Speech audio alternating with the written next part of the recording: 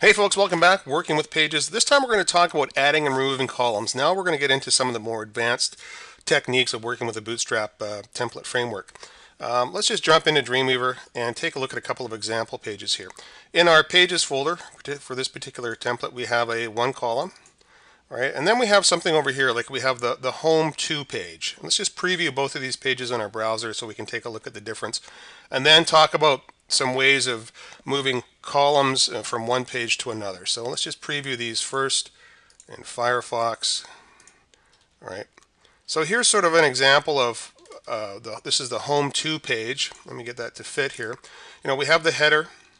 Then down below we have a bit of a content section. Then we got this sort of a cool looking content area here, right? And then we go down below and we've got a you know a bit of text. We got a picture, bit of a right column over here with a, you know, a little bullet list and some text, right?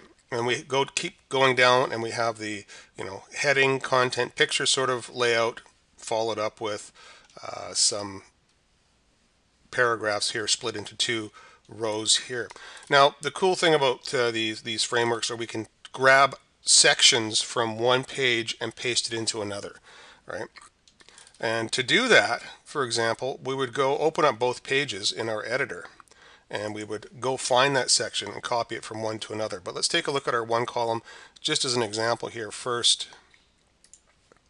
Here's a typical one column, just a big block of text in the middle of the page paragraph fantastic use for lots of content okay so if you don't need a lot of pictures and whatnot the one column is probably going to be a popular choice if you just want to get content out there but if you want to mix it up a little bit and provide different types of information on your page this is where we need to do a little bit of copying and pasting right typically we do provide some different layout choices and you can make them work for yourself but if you need a particular bit of uh, layout from one page, you can copy it and paste it into another. Keep in mind, a little bit more on the advanced side, so uh, it takes a little bit of practice. Okay, so how this works is we go to the page where we want to copy the snippet of content from. So let's go and uh, open up our Home To page. Let's just pop it into the design window, scroll down, and I'm going to get rid of this visual aids. We don't need any visual aids while we're, we're working here. Okay. And let's say we want to copy this particular section here. We see we have the Meet the Teachers and we've got the uh, section on the right over here. It's kind of hard to see if I don't with the uh, size of the video window, but we want this section right here, okay, where we have the uh, sort of more of a two column with a right column over here. We want to copy that into our one column page. Well, what we would do here is we just sort of find where that would start, and typically it starts with some sort of a a title, you know, a, a, a, title tag up here, a heading tag of some sort. Just put your cursor in there so we can switch over to the uh, the code view for a second, right? And what we're looking for is this puppy right here. See this div class container fluid, right? Whenever you see the container fluid followed by the container and the row fluid, that's an entire snippet, entire row of code that you can copy from one product or one page into another. Okay, so what we're looking for is this div class of container. So we basically just put our cursor here, go down to our quick tag selector, and I'm going to just open up my properties panel as well. Right, so we put our cursor right here in the word class or double click on container fluid. It doesn't really matter, but we're looking for this div container of fluid. We click that to select the entire snippet of code. Okay, and it's a good chunk, right? So we grab the whole thing like so, and we copy it. Then we go to our one column page. All right, we're going to do the same thing. We're going to put that into the design mode. I'm going to get rid of my visual aids because we really don't need them when the page is already designed.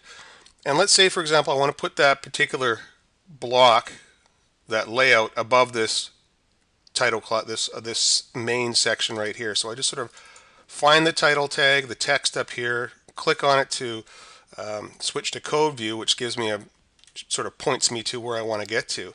And if I look up, I see the div container fluid, container, and row fluid. And these are the three classes that always start out an entire block of code, right? We want to go above that, and we want to paste our new, the code we copied from the home to. right? So we just put our cursor above the container fluid and then we paste. Boom. I'm just going to switch back to the design view. Scroll up. So far so good. Okay. Whole block of code copied in there and then we've got our one column down below. So let's just save this page and let's preview it in a browser here. And let's just scroll on down. Okay, so we got the you know the right column over here. We've got the pictures and the columns goes down. Then we've got a little more chunk here. Then we've got the one column. Perfect. That's what we wanted. We wanted this entire sort of, you know, paragraph with picture and a right column over here to start with. And then we have some content down below. Now we can start deleting certain chunks if we didn't want certain chunks of information in here. And to do that, we'll just go back to Dreamweaver. now we can have a little bit of fun because what you can do is using your design view and your quick tag selector in combination you can start to grab entire bits of information and pull them out for example if I put my cursor anywhere in this title tag I can just sort of go down here to my quick tag selector and start selecting bits and pieces you see as I, I click here it'll look a little bit more obvious when I actually have uh, if you have more room here so if I expand this out you'll see that you can actually start to read these a little bit better now, right? So uh, where is my example? Right. Let's say we want to get rid of uh, this one block over here. Well, I put my cursor and I can start to sort of work my way across. And when I click on the div span 6, it, it highlights that section. When I go to the row fluid, it, get, it highlights the entire section. So if I just move back to the div span of 6 and hit delete, Boom, look at that, it's gone. Now this moves the entire chunk over, okay? So if I put my cursor in here, oh look, another div span of 6. Now I'm going to tell you how Bootstrap works. If we go to the code view for a second, when you see something like a span of 6, right, we're working on a 12 column grid. 6 is half of 12 columns, right? 6 is half of 12. So if we were to change the 6 to 12, that would make up the entire width of the page. So when you think about a span 12, that's the entire width of the page. Span 6 is half the width of the page. All right, let's just uh, save that and go back to our design view and see what happens. Now that entire paragraph has moved over to take up the entire width of the page. So these are just some of the things we can do. And, and if you actually go to the Bootstrap site and uh, read up on um, working with the uh, spans and the columns and whatnot, you can get a real good a real good idea of how you can really manipulate things. But we've tried to include or do a lot of this for you ahead of time.